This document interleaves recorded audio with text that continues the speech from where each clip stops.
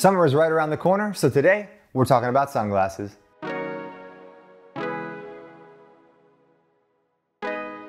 What's up guys, welcome back to Gents Lounge. I'm George. If you have not hit that subscribe button yet, please do that right now. It really, really helps us out. Give this video a thumbs up and ding that little bell icon. So over the past couple weeks, I've been asking on Instagram what kind of videos you guys wanted to see and I got a lot of DMs asking to show my sunglass collection. So today I've pulled all of my sunglasses that I could find out of the closet. Some of them are eight to nine years old, and some of them I got as recent as a couple weeks ago. So one, I think this video will be super interesting because you'll see how styles have changed and my preferences have changed over the years, but also what styles are classic and will always be classic. All right guys, so up first, this was probably the first pair of sunglasses I was gifted as a fashion blogger, and these are from Pacifico Optical.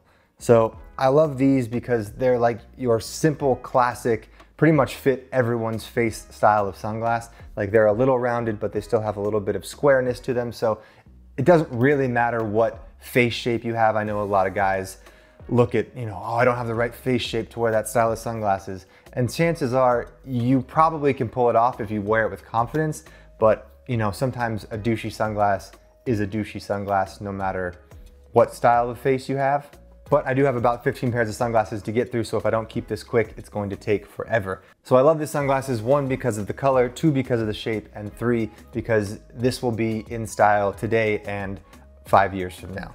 All right, guys, up next we have these from Krewe. They are based out of New Orleans. Um, I love these sunglasses, one, because they're big and bold and not, not big size wise, but they're big, like they make a statement. So the tortoise on the side is loud and then it has this gold kind of hardware on the bridge of your nose, which just kind of makes a little statement. I've had these sunglasses for I think like four years now and I absolutely love them. I also have them in gray, so I will go over those next and just continue to talk about these.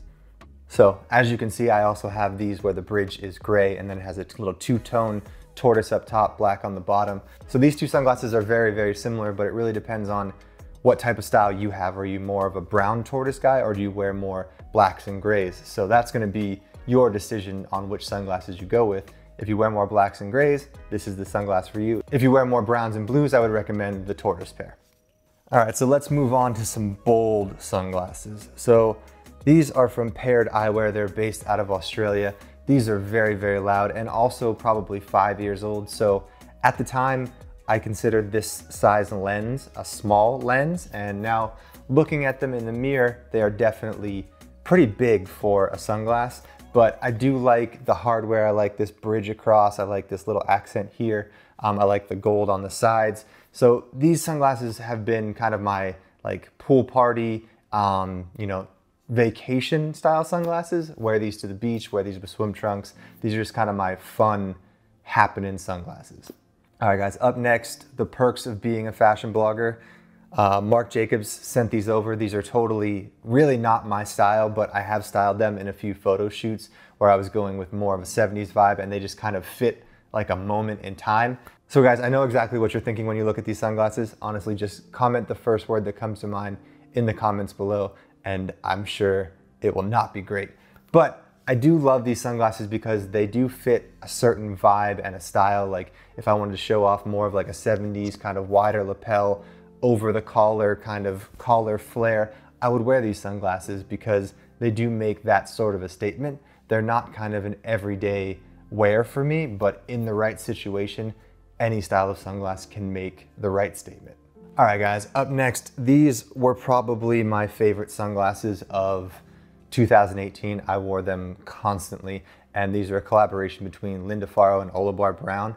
Um, it's just, Linda Farrow makes really, really great sunglasses. So at the time, I was really like a square kind of edgy type sunglass guy, and I didn't wear a lot of round stuff because I didn't think it fit my face. So I got these and then I've been wearing them and I forced myself to wear them constantly. And honestly, the more you guys look in the mirror and get used to seeing yourself wearing a different style, then that can become a style for you. I think a lot of people get hung up on seeing what they're used to seeing themselves in and then seeing something completely different. Like square frames to these frames is like a huge jump, but once you get used to it, you know, you can go back and forth very easily. It's just kind of making that initial transition. Like I bet the first time you guys put on skinny jeans, you were like, holy crap, this is the tightest thing I've ever worn in my life. And now looking back at those pictures, those jeans probably weren't even that tight. All right, guys, up next on the list is probably my oldest pair of sunglasses. These are like Gucci sunglasses from I think like 2013, 2012 even. Um, and honestly, these are massive. Like these feel huge. These feel like really douchey now. But at the time, these were like the smaller version of what Gucci was putting out. So, you know, things definitely change over the years. This is about seven or eight years old. And granted, I probably wouldn't wear them as often as I used to, but like the Marc Jacobs sunglasses, I still do style them for certain situations and in photos they can work. But yeah, looking in the mirror, I have a mirror over here. It's just, I feel kind of like, hey, like I should have like a ton of gold chains and a hairier chest at this point. But the funny thing is, is in 2012, these were like small to me. These were tiny and you know there were much bigger options to choose from. All right guys, so up next, these are probably my second oldest pair next to the Gucci ones. These are also from Linda Farrow, but this was my first pair of Linda Farrow sunglasses. I think I got them on Gilt for like 150. They were on sale from like 450. So I was like, wow, that's a super expensive sunglass. Has to be a great pair of sunglasses. And they are great sunglasses, but as you can see now, they feel a bit dated, a bit droopy, a bit big. Um, but I do like the gold hardware on the sides. I like the black. Um, they are a little bit flashy, but I will say another thing for you guys to look for is where the bridge of the glasses come from. Because some glasses, you know, they meet it in the middle and it kind of covers your eyebrows a little bit more. But if you go with one that looks a little bit at the temple, it tends to like bring everything down a little bit and draw your eye up a little more. So pay attention to that when you guys are trying on sunglasses. All right, guys, and last but not least, I have a few more pairs from True Vintage Revival. This is my favorite sunglass company of all time. I've been wearing these for like the past two years and they're pretty much my go-to sunglasses. And I think I've mentioned this before, but why they are called True Vintage Revival is because they've gone to the defunct factories in Japan and purchased, you know, acetate from the 1960s, plans to make sunglasses from, you know, all the giant manufacturers that were making classic sunglasses back in the 1960s and 70s, and they used those exact plans to build brand new sunglasses. So, you know, these are a very vintage style kind of Wayfarer frame, but they have bought, you know, vintage acetate and vintage plans to make them exactly how they were in 1960 and 1970. And I think that's just one of the coolest thing. Plus they are all handmade in Japan.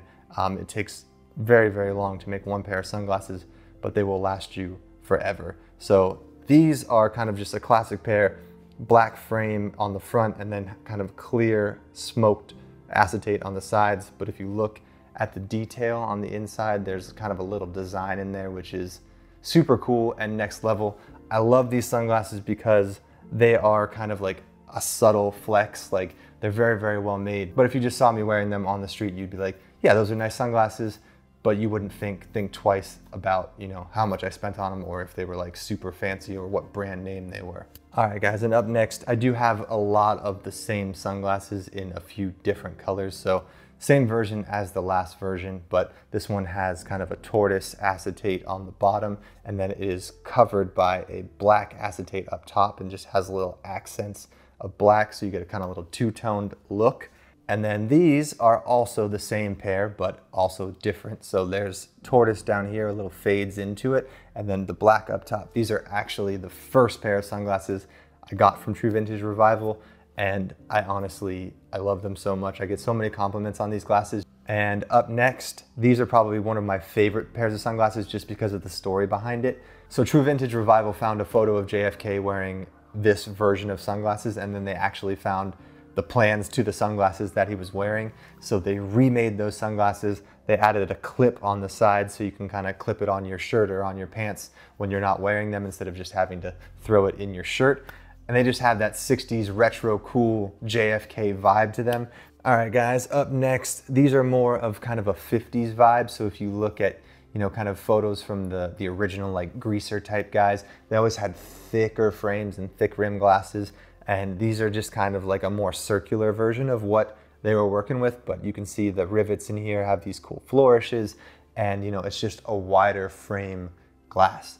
So throughout this process, you guys can see that most of my sunglasses look very, very similar. Like you do not need 13 pairs of sunglasses, guys. You probably need two really good pairs. Um, I would recommend something solid like acetate like these, and then I would recommend kind of a metal pair just because that usually gives off a classier, kind of more sophisticated vibe.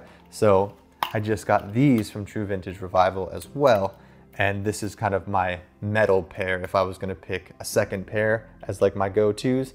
Um, been loving these lately just because they're super light, super thin. Um, still have this little accent over the bridge. So I wear these suited, I wear these casual. Um, I wear these very, very often just because they're like a fun, simple, classic silhouette, but they're also super light, super thin, and they don't really take up too much weight on your face. So up next, these are made by a sister company of True Vintage Revival, different brand name, different price point, but same people behind them. So these are a pair of sunglasses that honestly I would never pick up off the shelf for myself, but they were gifted to me and I wore these all throughout Italy. I wore these on vacation just to kind of test the waters to see if I can pull them off. And they've honestly very much grown on me. And after seeing Ford versus Ferrari, I think Mr. Shelby has a pair of glasses that are very similar to these that are gonna be probably very popular this summer. So I would recommend looking into some clear frames and some lighter tinted lenses for this summer. Um, yeah, these are super fun sunglasses. And up next, guys, my last pair of True Vintage Revivals. Um, these are probably one of my favorite pairs because the shape is just unlike any other shape I've seen on the market. Yes, it is round, but it also kind of has these like hard, soft edges around there. And then this kind of points out to the side a little more. These are just kind of something different and classic that I don't see every day. So they are one of my favorite pairs of true vintage revival. You can really tell how long I've had some of these based on how worn in the case is. So newer, older. All right guys, before I go, three more things that I would recommend for everyone that has glasses, sunglasses, whether you have one pair or 20 pairs, um, I recommend having a little screwdriver, a little eyeglass repair kit. I'll have a link to those down below.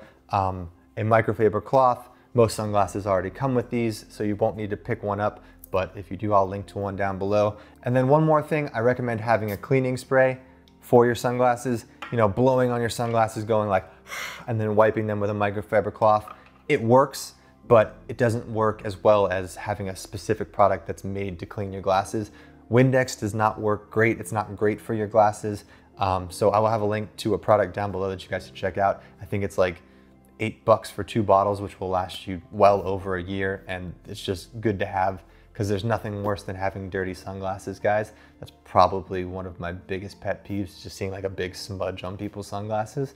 So, you know, that pretty much wraps up the video. I hope this was interesting. I hope this was helpful for you. Remember that you don't need to have a certain face shape to pull off a certain style. Just wear it with confidence, wear it often, um, get used to seeing your own face in that style of sunglass, and then it won't look so weird to you. Once again, if you haven't hit that subscribe button yet, please do that right now. If you haven't followed us on Instagram over at Gents Lounge, give us a follow over there. It really, really helps us out. Give this video a thumbs up if you liked it, and please share it with a friend if you can. Cheers, guys.